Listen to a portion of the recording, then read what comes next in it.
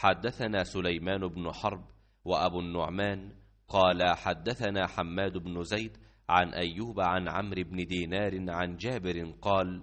كان معاذ يصلي مع النبي صلى الله عليه وسلم ثم يأتي قومه فيصلي بهم.